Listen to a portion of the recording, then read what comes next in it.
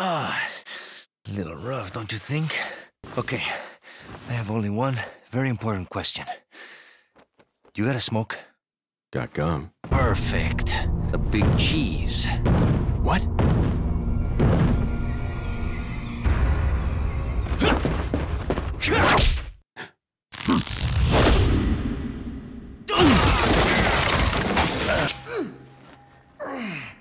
That hurts, you know? Seemed like you really wanted to talk.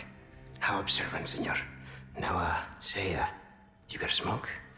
You know, those things will kill you. Oh, well, maybe just untie me then, huh? Joder, not this guy! Who are you? Yeah, stop right there!